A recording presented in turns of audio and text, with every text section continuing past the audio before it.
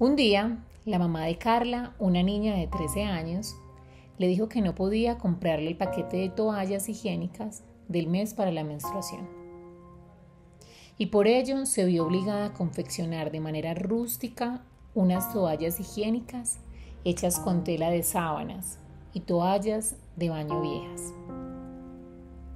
Carla sintió un gran estrés y pena porque sabía que mes a mes le venía bastante sangre y no creía que estas toallas fueran adecuadas para la época de colegio. Desafortunadamente, tuvo que usarlas por varios años.